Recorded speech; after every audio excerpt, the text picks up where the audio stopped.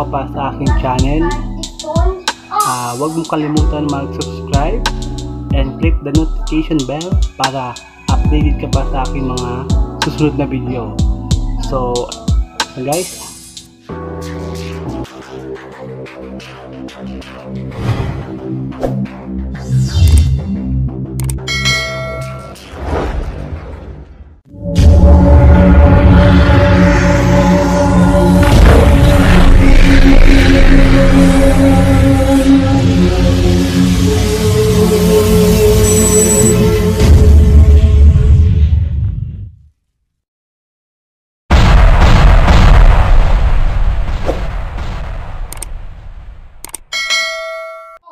So, ito na guys. Yung araw na to guys.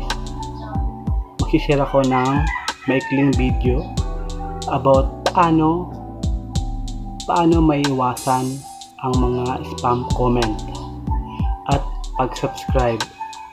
So, let's go. A few moments later. guys. So, ito na nga guys. Kung napapansin nyo, na gaya- yung mga mali. So, let's begin guys. Ito na nga yun.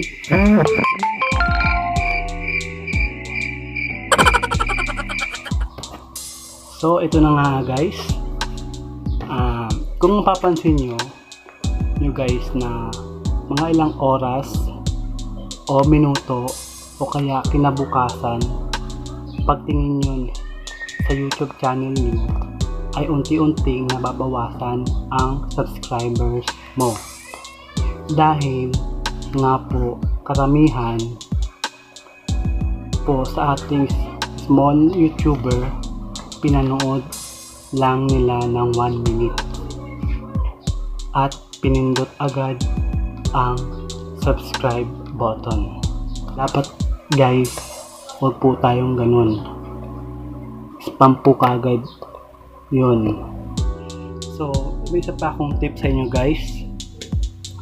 Wag wag po tayong mag-comment ng hug to hug, sub to sub, subscribe mo ako.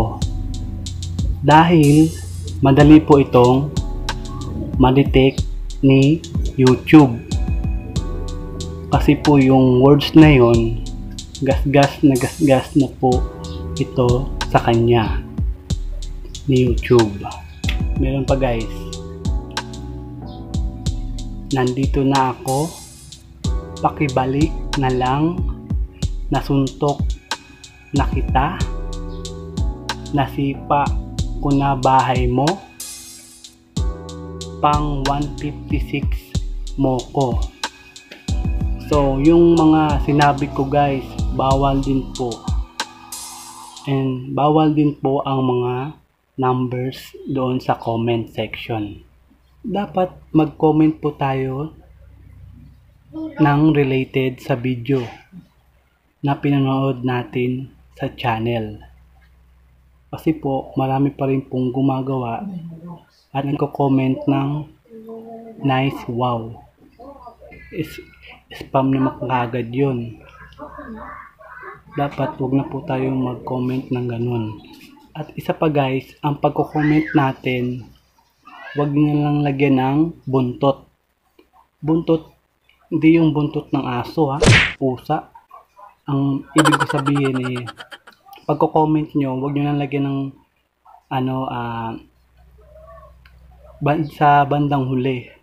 Limbawa, dun sa huli is, pasukli na lang. Eh, bawal, ano po yun? Spam na po rin yun. Sayang naman yung hirap natin sa sa YouTube. Masayang yung ating banana. Bawal po kasi yun, guys.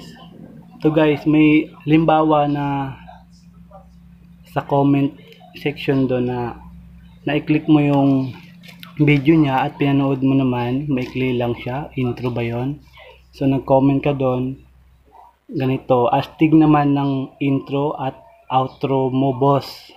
Bagay dun sa background music. And then yung huli nyo, nilagyan mo ng pasukli na lang. Eh dapat wag yun nang lalagay ng ganun. Yun ang ibig sabihin ng buntot. So, huwag nyo nang lalagyan ng ganun guys. Alam niyo na yan, na ini-email din ni YouTube na sa kanya na nandun ka at may bakas kang iniwan. So, yun lang guys. At sana mayroon kayong tutunan kahit ah, paano sa aking ginawang video. Ah, good luck guys. Ah, kung bago pa kayo sa aking channel, huwag niyong kalimutan mag-subscribe and click and click the notification bell para ma-update pa kayo sa aking mga videos. So once again, thank you guys. Boo!